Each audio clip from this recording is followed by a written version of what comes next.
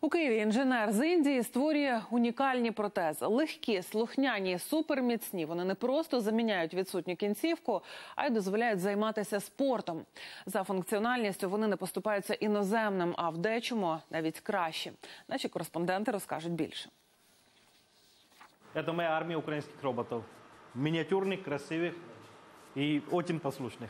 Так інженер називає протези, виробництвом яких займається останні п'ять років. В 2008 году э, мы начали импортировать комплектующие с Гонконга. И я увидел, что есть проблемы с качеством.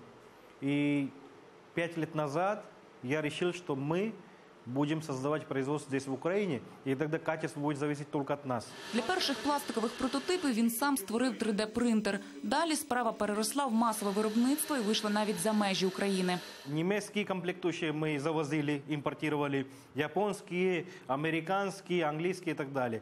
Э, Сейчас уже происходит наоборот. Германия у нас уже начала покупать, то есть мы уже отправили первую партию вот этих э, коленных узлов, как я называю маленькие мои роботы. И Японию мы уже отправили.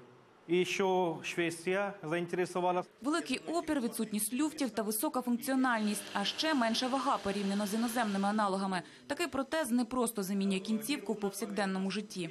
Ось такий маленький колінний вузол витримує короткочасне навантаження до півтони. З ним можна не просто ходити, а навіть займатися пауерліфтингом.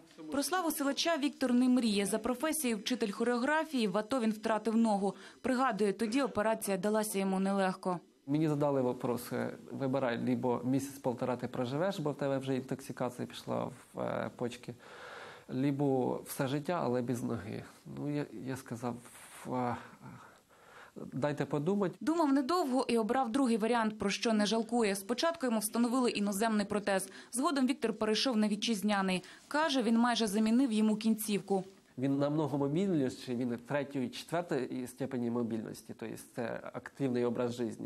Я пробігаюся на ньому, я, я також граю в боулінги, ходю на танго аргентинське. Сьогодні хлопець і сам вчиться на протезиста. Зовсім скоро він поїде до Канади переймати досвід біопротезування рук. Анастасія Старовойт, Валентин Біліч, Павло Лисенко. Новини телеканал Інтер.